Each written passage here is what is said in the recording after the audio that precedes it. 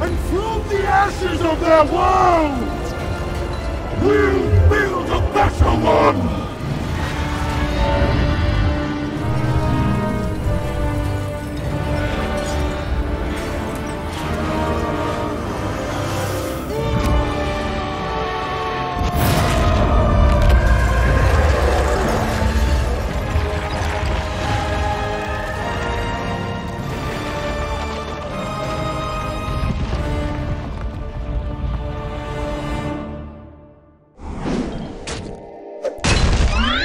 Movie is fun